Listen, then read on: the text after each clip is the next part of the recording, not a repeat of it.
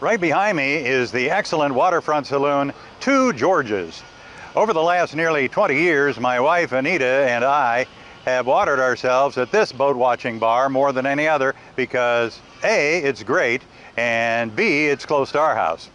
We'll take you inside later because our bar tour today is north to south and this one's smack dab in the middle. Those who have watched our bar touring videos uh, know that we're partial to the dive bars at the Keys and to Key West. And we do love to head on down there for a long weekend or a longer weekend when we can. But we live in Palm Beach County and our own habitat certainly doesn't suffer from a shortage of four-star watering holes. So please join us this time for a bar hopping tour of some of our favorite locations hereabouts to squander time tossing back a drink or five. Of all the gin joints in all the towns in all the world, we invite you to walk into ours, a righteous sampling of the bars of Palm Beach County.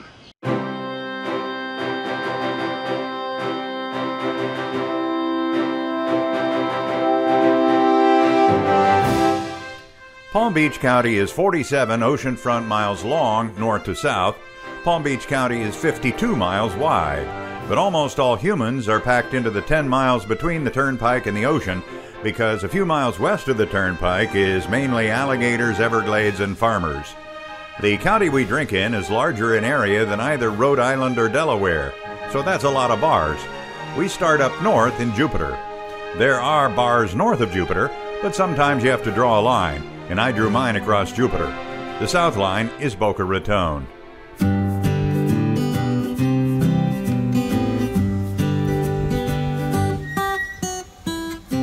Bar number one is Square Grouper, named for floating bales of marijuana or cocaine that washed up on the Atlantic shoreline. But you probably know this bar because of a music video shot right here by Alan Jackson and a guy by the name of Jimmy Buffett. I can't play this loud because copyright, but you know the words. Pour me something. Tall and strong. Make it a hurricane. Before I go insane. It's only half past 12, but I don't care. Because, you know, it's, it's 5 o'clock somewhere. So, like many of the best bars, it's a waterfront dive bar.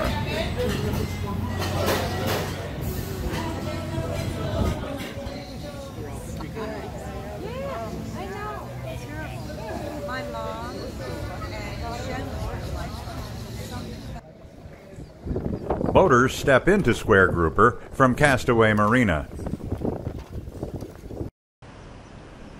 Across the inlet connecting the Atlantic Ocean and the Intracoastal Waterway is Jupiter Lighthouse, which is nice.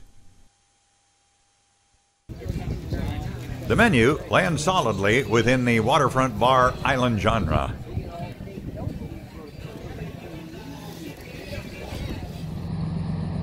Here's what it looks like when you stand over by the lighthouse and look back across the inlet to Square Grouper.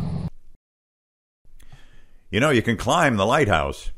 And when I say that, I mean you can climb the lighthouse. I'll spend my $10 lighthouse admission seniors discount on another beer.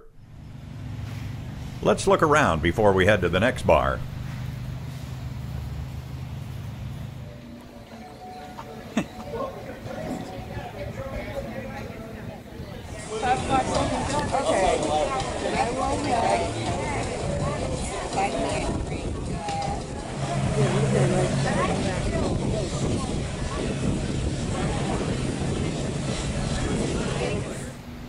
Oh, also, there's another great Alan Jackson music video shot entirely at Square Grouper. It's called Long Way to Go, but most know it as I Got a Bug in My Margarita. Alan Jackson drinking cocktails while surrounded by beautiful women backed by mariachis on the Square Grouper stage. Next stop is Guanabanas, you know, on Google Maps, when you search for directions, you can pick a car or a bicycle or a stick figure of a walking person. Well, a stick figure walking person can walk the dotted line between Square Grouper and Guanabanas in five minutes, two minutes by car. It's right across A1A, just a couple of hundred feet east.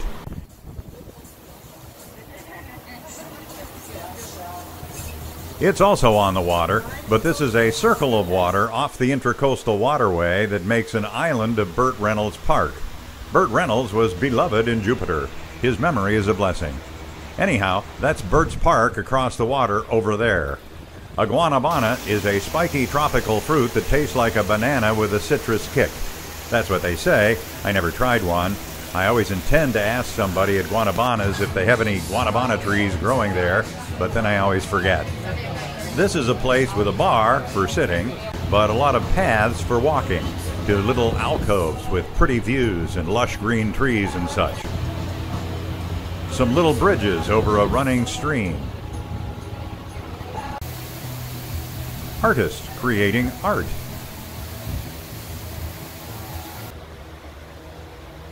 and plenty of tropical scenery in which to either wander or to plant oneself and one's friends for a congenial hour or three.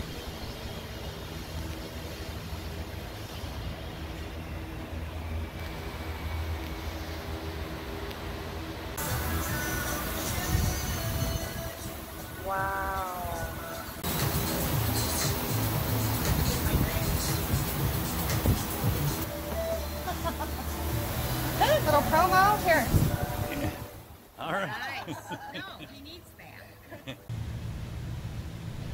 Down along the waterway, one can rent a stand up paddleboard.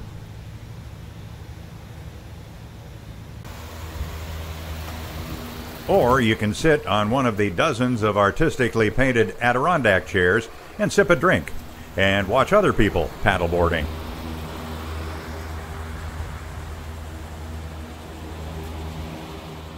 Now we get back in the car for a quick drive on A1A to Route 1 and then south to a complex called Harborside Place. Since it takes less than three minutes to get here from Guanabanas, our air conditioning hasn't even had time to get cold. Which is why we are going to Harborside because the bar we will stop at there has air conditioning. Most bars on our tour are open air and many in view of water. But we're going into the woods, not the Into the Woods written by Stephen Sondheim and nominated for 10 Tonys. No, we're going into Tiger Woods' signature sports bar. Speaking of Tony's, Tigers is a pretty Tony sports bar. Won't find peanut shells on the floor here.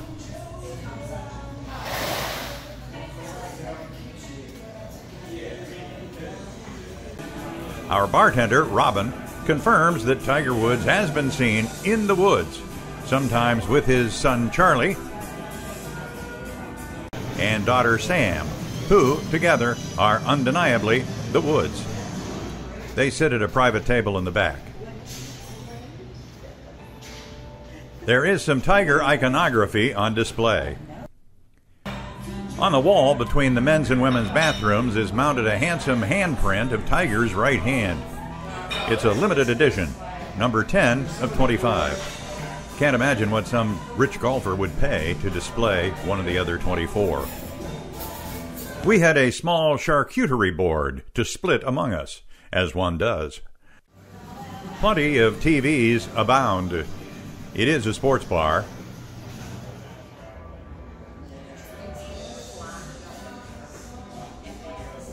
Quality cigars are sold here to be smoked on the outdoor patio.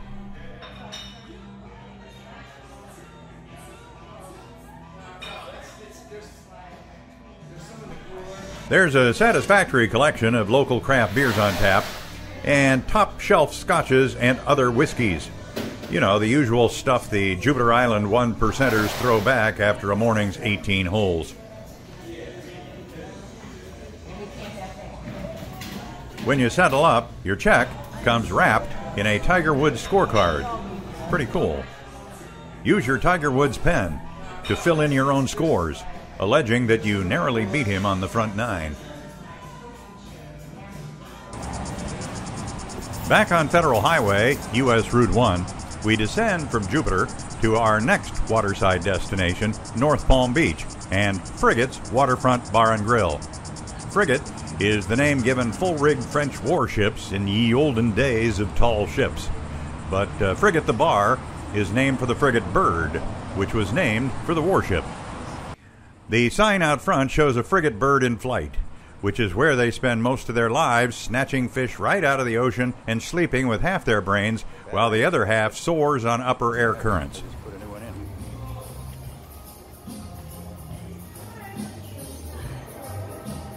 The largest species of frigate bird is called the magnificent frigate bird, but Frigates the Bar is a modest bar and does not claim magnificence aside from its Sunday brunch and the lunch bowls, perhaps.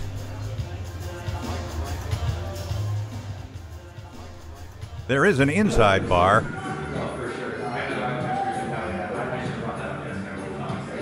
But the draw is the outside deck and the waterfront bar.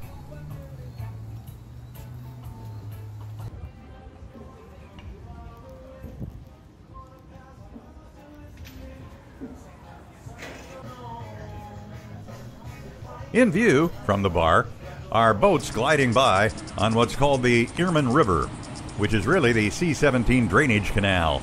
But Mr. Earman was a local farmer who helped dig out an existing creek to drain his fields, and the Earman River has a more pleasing ring to it. The waterway leads from other canals out to the Intracoastal Waterway and Singer Island and the ocean beyond. Gotta confess, we like to come to frigates, especially because of the presence, on many days, of its reigning royal couple, our pals Mo and Sally, the stars of the forever top morning show on KOOL 105.5. Full disclosure, I used to be their news dude, and they were our first friends after we moved to South Florida. Is it 20 years? Inconceivable. You know, it's just that. Thanks to waitstaff standout Chad, pouring the wine, for taking this photo.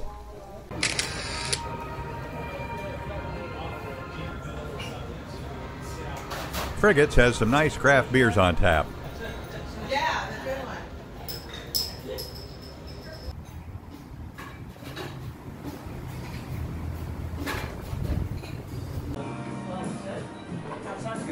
We love a great waterfront dive bar, but one hesitates to call frigates a dive. Its food is sufficiently elevated over the usual conch fritters and blackened grouper to be genuine cuisine. No offense to the conch and the grouper, which continue to remain uppermost among the most revered of waterfront bar bites. Time to press on. My name's McBride, so you won't be shocked if I take it to O'Shea's. Am I right?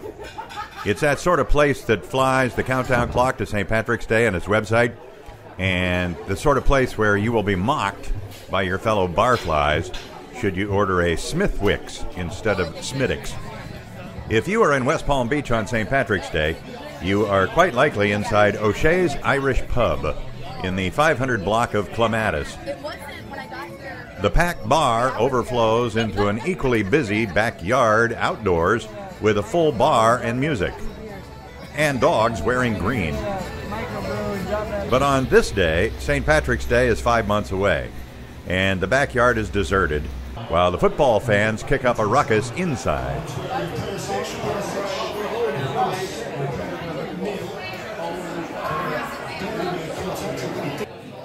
It is Saturday, and there are two different sorts of football on the TVs. One is played with a round ball, and in the other game, the ball is a prolate spheroid. Packed into the side room bar, University of Michigan fans are cheering the Wolverines versus the despised Penn State Nittany Lions. And in the main bar, Tottenham fans are singing and chanting for Harry Kane in his 400th match as a Hotspur versus the despised Everton Toffees. Nobody in the bar was disappointed, as Michigan beat Penn State 41 17 and Tottenham beat Everton 2 0. Saturdays, the bar opens at 10 a.m., so you can pair a pint with your breakfast. The Irish part of the menu includes the obligatory fish and chips and shepherd's pie, and bar bites include a bowl of fries with Guinness gravy. O'Shea's is a drinker's bar, so the beer choices number more than 30, and the back bar displays more than 50 whiskeys, including eight kinds of Jameson. Friendly bartenders Kruma and Gabby are perpetual motion machines, keeping all these hooligans lubricated?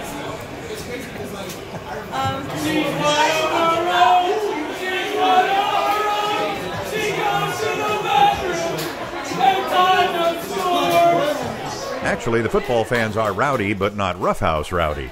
So they're not really hooligans, but they are fanatical. So what's a mashup of fanatical and hooligan? Fooligans. Kruma and Gabby keep the fooligans lubricated.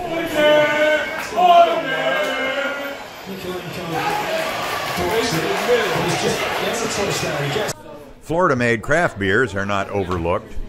You will like La Rubia Blonde Ale from Miami or Islamorada Sandbar Sunday, which is always my backup choice when the bar doesn't have my favorite. But this day, it's Smithwick's.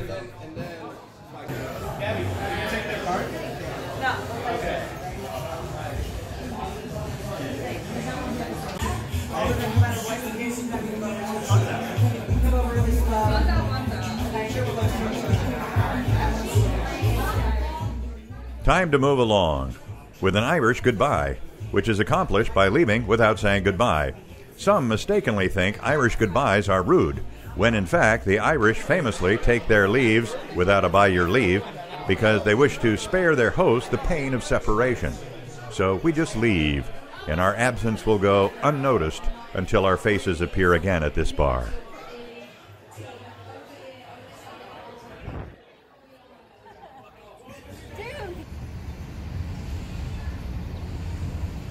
Leaving O'Shea's, there are a dozen bars along Clematis Street before it splits into a V and joins with Flagler Drive on the Intracoastal Waterway.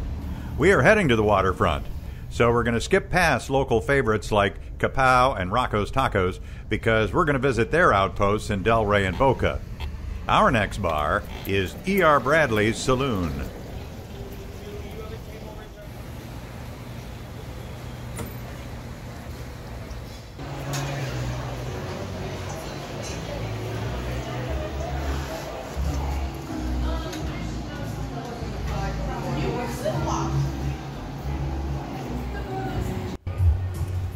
A trip to the bathroom will take you past a museum of E.R. Bradley's personal history. Colonel Bradley was an honorary Kentucky colonel, a title bestowed by the hundreds on various celebrities by Kentucky governors. The colonel list including the late Queen Elizabeth and the stars of Duck Dynasty for crying out loud. But Colonel Bradley earned his credentials fair and square as a Kentucky colonel as a breeder and racer of Kentucky Derby winning horses, four of them, and three Preaknesses and two Belmonts. Edward Riley Bradley made his money running lavish gambling clubs in the playgrounds of the super rich, and his beach club on Palm Beach was called the classiest gambling house in the world. Flo Ziegfeld of the Ziegfeld Follies lost a fortune there. Everybody who was anybody on Palm Beach spun the roulette wheel or rolled the dice. It was not remotely legal, but the rules are different for the rich, and the cops got theirs. This bar is not that place. The Bradley Beach Club was on the other side of the water on Palm Beach, a few blocks a little ways north at the end of the bridge up there.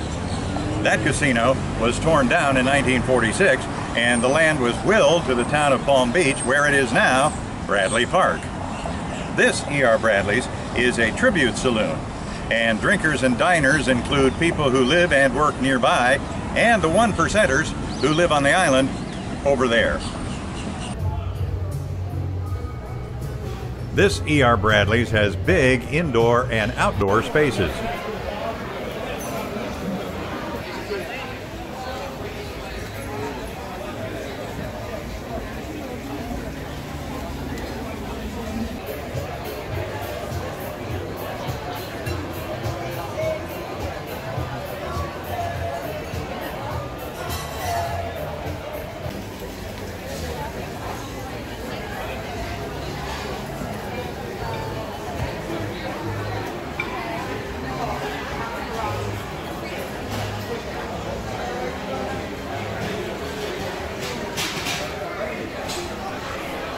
Multiple bars, and the bartenders are swift and personable.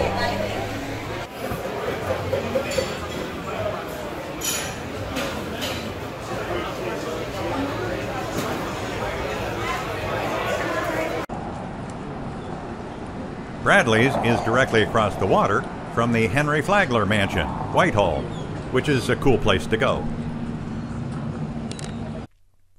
The menu is a mix of affordable and pricey, and cocktails are creative and generous. If you're with a bunch of shellfish fans, Bradley's got you covered with a seafood tower with everything but the kitchen sink for $110. If you walk out the door from the north side of ER Bradley's, you can explore the downtown waterfront. A nice green market is here on Saturdays from October to April.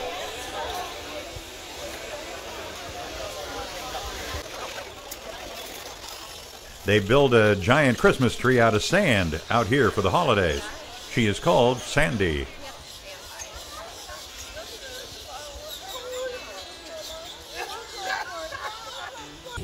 There's a ginormous boat show with ginormous boats on the water here in March.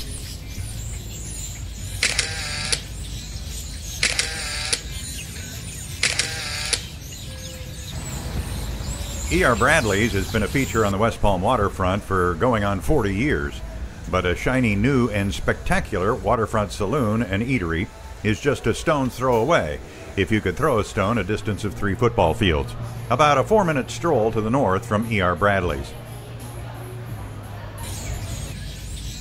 Elisabetta's is a trattoria right out of a 50s Italian movie set.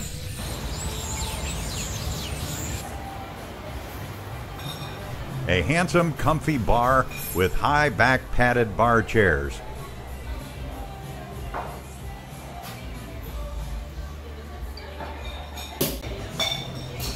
The bartenders and wait staff and kitchen staff number in the dozens.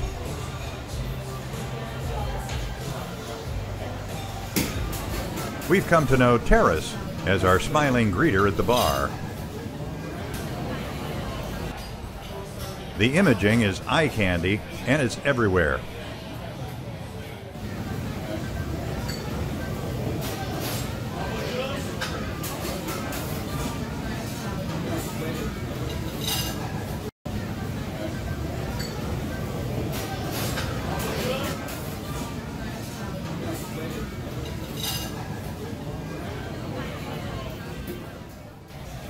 Elisabetta's is named for a chef and restaurant imagineer who is a partner and corporate culinary director of Big Time Restaurant Group, and she runs more than a dozen restaurants hereabouts.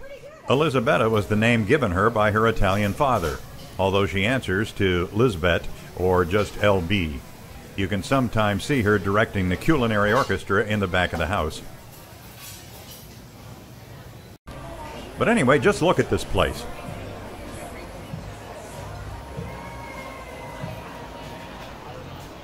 It could be waterfront on the Italian Riviera.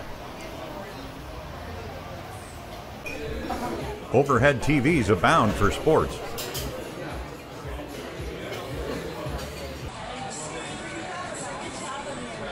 The yachts over there are a nice touch. And the elevated Italian cuisine is top notch.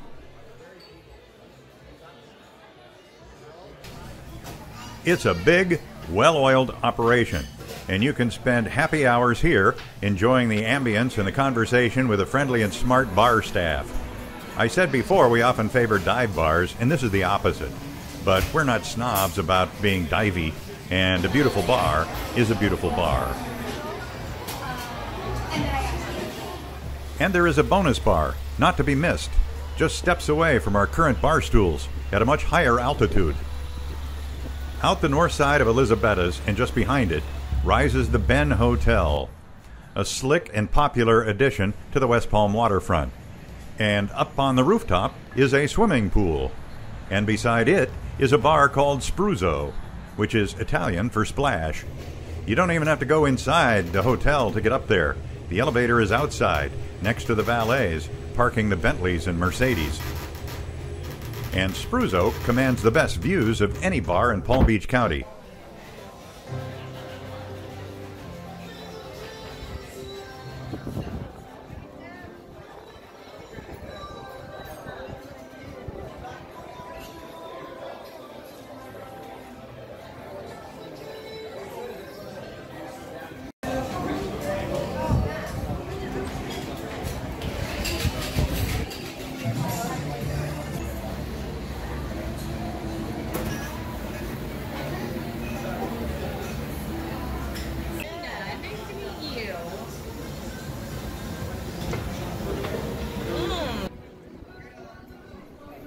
Just down below is the roof over Elisabetta's.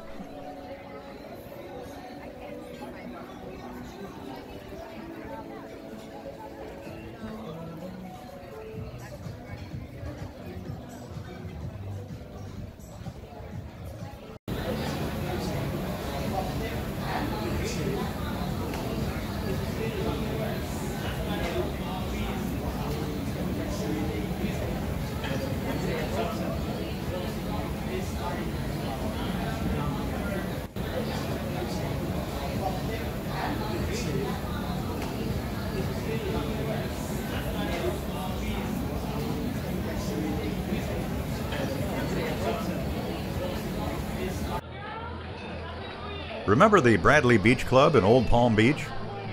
E.R. Bradley's Speakeasy and Casino? The one that's now a public park?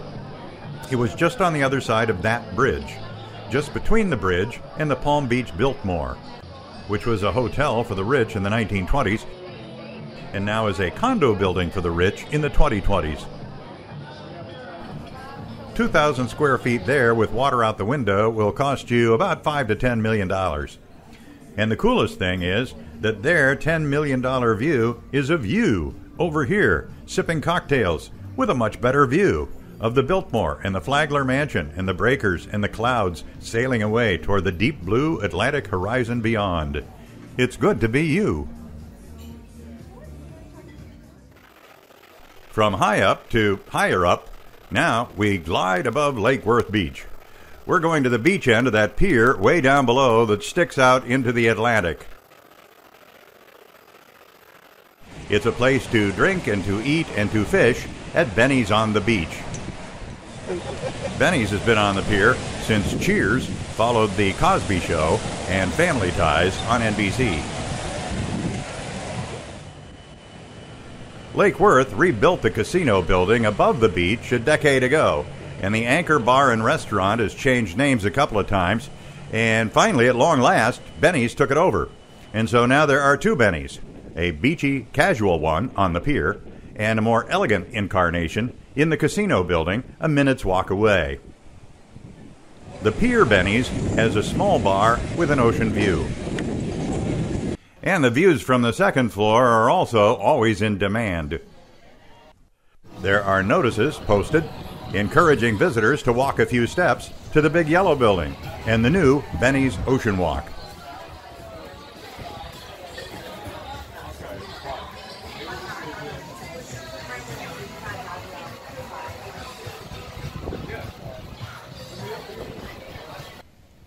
Outside Ocean Walk are tables with a view of the sea. Our destination is the bar inside.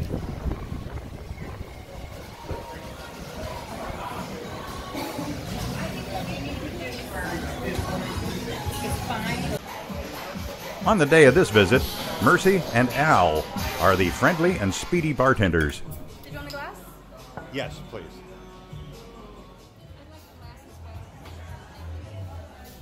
And the food tastes as good as it looks.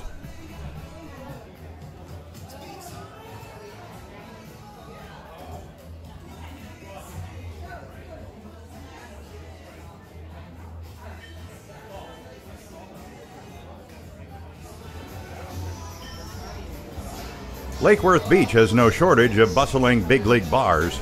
Let's go visit another one. Now we move from the beach a few blocks away to downtown Lake Worth Beach, which changed its name from Lake Worth a few years ago because it felt outbeached by North Palm Beach and Riviera Beach and West Palm Beach and Boynton Beach and Delray Beach and Highland Beach and thought it high time to remind travelers it has a fine beach its own self. So voters tacked on the last name of beach to join the South Florida Municipal Beach Club. Some call it LDUB for short. In the heart of Lake Worth Beach resides another notable Irish pub worth a few pints of your time. Like the town, its name has changed too, from Brogues to Brogues Down Under, and now to the Irish Brigade. Most days when you arrive for lunch at opening, it's not hard to find a place at the bar in a laid back neighborhood landmark with good pub food and friendly faces on both sides of the bar.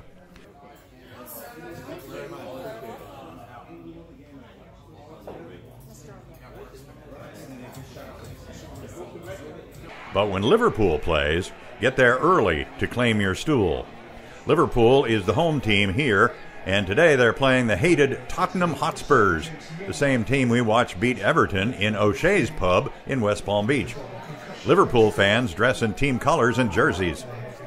The place is packed, but bartenders Morgan and Joey keep up even when the call is for a Guinness, which takes six steps to pour properly and, according to Guinness protocol, requires 119 and a half seconds to accomplish. On this day, the backroom bar at Irish Brigade is reserved for Miami Dolphins fans who are hoping for a win over the Chicago Bears. Anita and I are both from Chicago, but we have lived in South Florida for 20 years, so Bears, Dolphins, it's a win for us either way. And the food is good.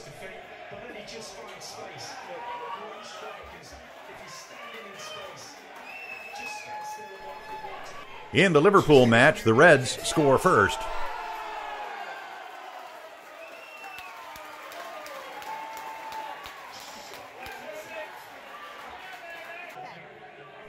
Jello shots are awarded. And when the match is won, fans pose for a group photo. Listen for time. It is a Spurs ball.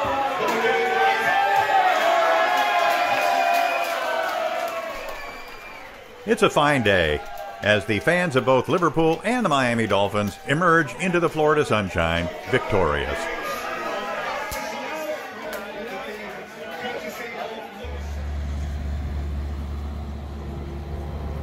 Pushing the Palm Beach County down button again, we descend to Lantana and a bar and restaurant that lives up to the adjective legendary.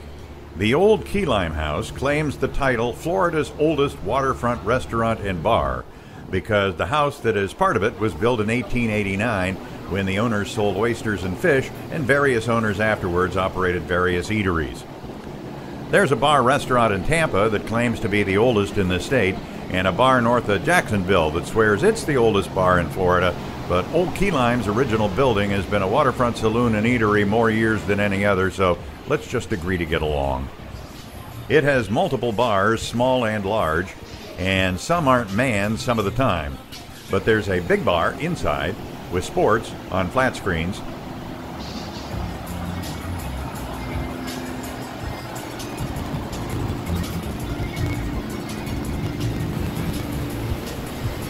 and a big chickee bar outside with sports on flat screens. Michelle, right?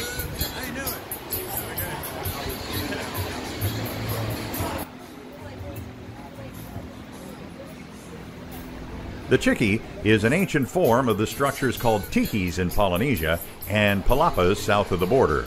The roof over the bar has been built and rebuilt by palm frond thatching engineering experts of the indigenous Florida Seminole tribe, who know how to build a chickee hut structure out of logs and fronds strong enough to withstand most hurricanes.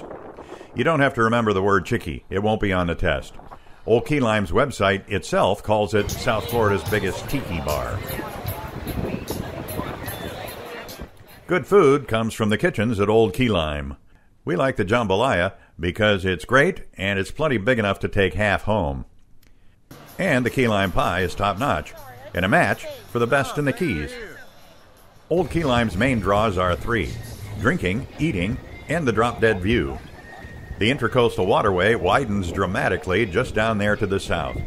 The extensive, wide portions of the waterway are collectively known as the Lake Worth Lagoon.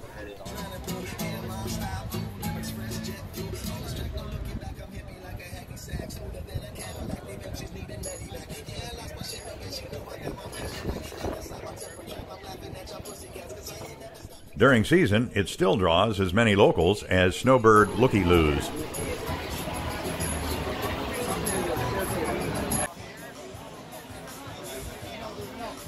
Old Key Lime's an assiduous recycler of license plates and keep alert for surprising signs all over the place.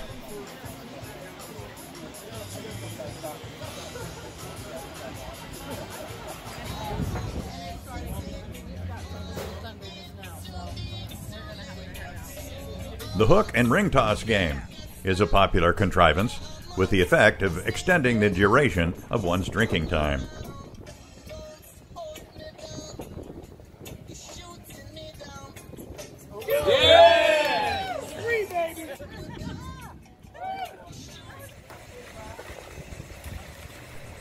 Speaking of the Seminoles and their roof thatching skills, here they are, fixing hundreds of palm fronds to the hand hewn log frame just three miles from Old Key Lime House at The Hive Waterfront Restaurant and Tiki.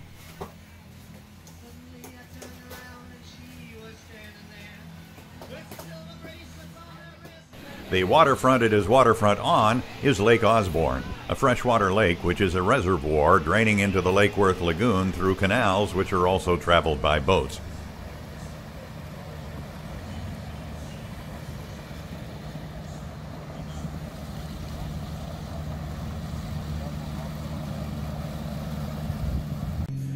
Hive has a bee theme. The Hive used to be elsewhere, very near Old Key Lime House. But when it moved to Lake Osborne and went tiki, like the worker bees follow the queen to a new hive, the loyal, hive minded fans of the food and the company moved into their new hive.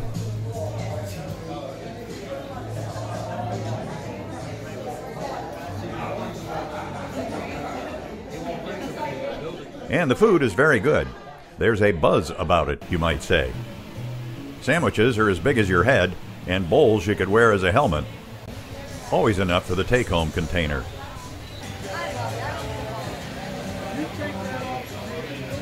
Good sized flat screens are everywhere, and some cater to the clientele who like to bet on the horses. On rare days when the weather is a bit blowy or stormy, the bar inside awaits. Just a little more than a mile away from here is a craft brewery called Copper Point, which is worthy of being in a future tour, but not today. I bring up Copper Point because the brewmasters there created a signature beer for the Hive. It's Anita's favorite, Bee's Squeeze, with a touch of honey. Fishing boats dock here for lunch.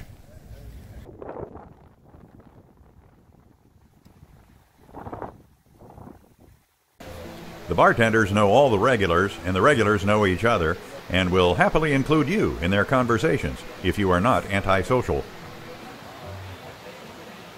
Here's a tip. Here's how the Hive parking lot and the bar look at 11 a.m. This is how the parking lot and the bar look at noon.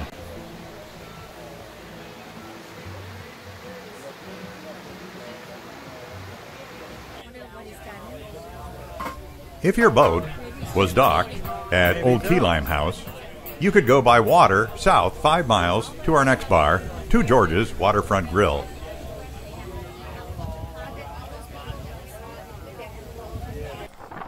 Actually, a small boat could take you there from the Hive via the Boynton Canal, which comes into the intercoastal just above Two George's. This place has been sitting on the intercoastal for 60 years, way longer than the Boynton Harbor Marina neighborhood, which sprang up around it with its high rise condos and its townhomes and the nifty general store and fueling station serving boaters beside it.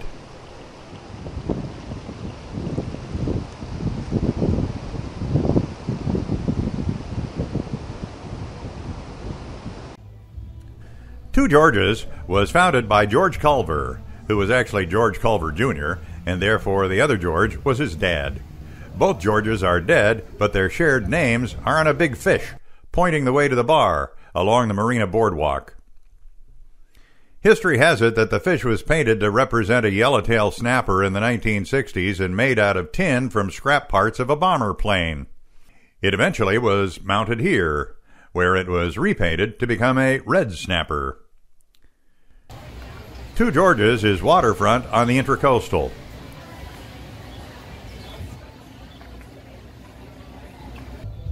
And also perched over a working marina with fishing charters, dive boats, and other commercial vessels.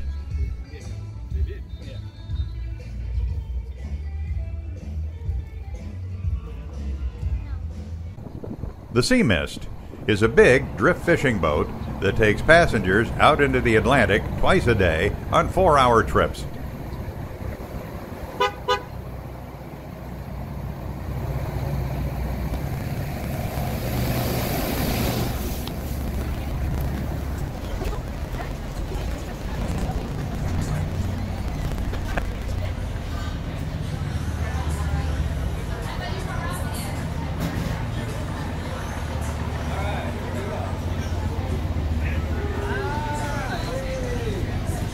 There are two bars here, each one home to a giant fiberglass shark. One of them is on the marina, and one is on the intercoastal. And we like the bar stools along the waterfront end of the intercoastal bar. Among the army of great and personable bartenders we have met here, our barman this visit is Dave. And it's always a pleasure for me to greet another brother in the Fellowship of Daves. This is where locals go to squander quality time with good friends and relations.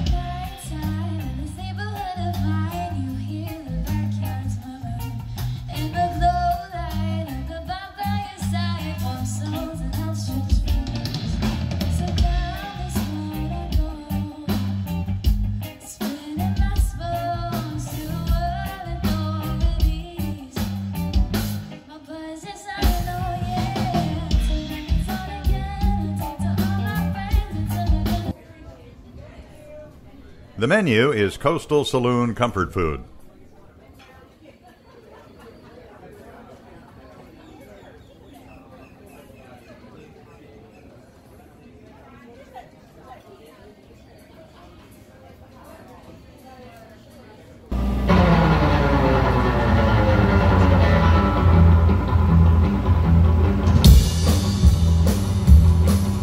Extra fun breaks out periodically throughout the year with events like Rock the Marina.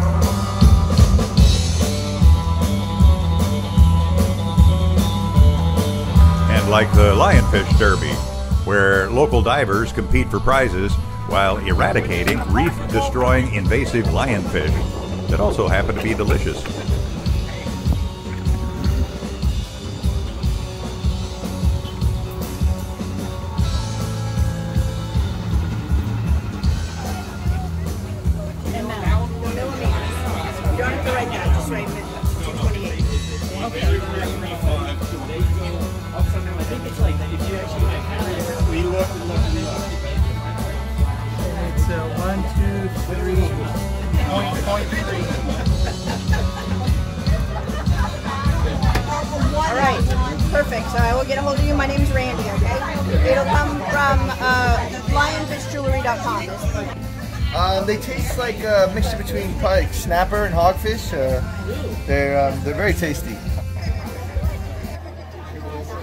Directly across the marina from the diners here on the Two Georges deck is Banana Boat, another uber popular waterfront bar. Here is the local fishing charter Hammer Time approaching it. Here's the Sea Mist passing it, returning from all that mist at sea. And here is the view from the opposite side of the inlet from the viewpoint of the Banana Boaters.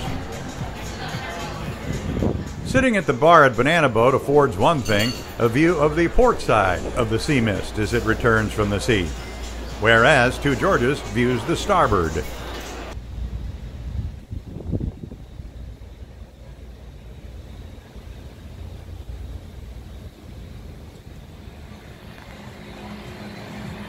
The faces of staffers here change infrequently, some having worked here for more than three decades.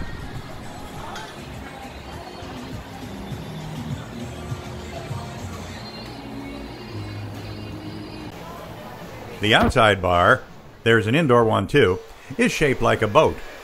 The curved bow of the boat sporting navigation lights.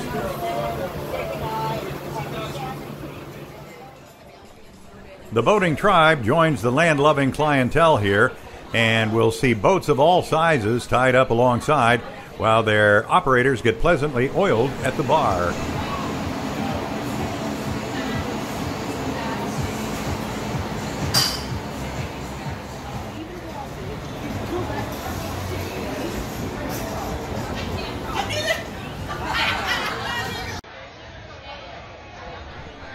On a sunny day on the canvas ceiling, you can watch the projection of silhouettes of seagull feet.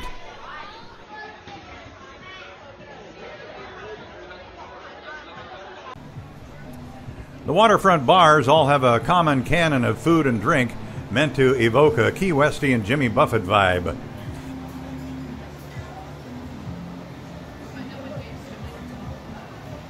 Banana Boat is one of the reasons that plenty of people have chosen to live here. Short walk home. Banana Boat is a refuge for Boynton Beach barflies on Thanksgiving and Christmas, when Two Georges and Hurricane Alley nearby are closed. Turkey just like Grandma's. Order two. Take one home for leftovers. From here, we will take a four minute walk two blocks away to another of Boynton Beach's best bars, Hurricane Alley. But that's going to have to wait to lead off the next bar tour, coming soon to this here channel. You know, we really could have doubled the number of bars in this tour, but you have other things to do, and we likely have already placed a strain in your attention span. I can think of a ton of great spots we uh, omitted, ocean view and otherwise, including a couple we scratched just because they're over the Palm Beach County line in Deerfield Beach. The good news is we live here, and we will begin assembling another collection of bars for a part two of the bars of Palm Beach County.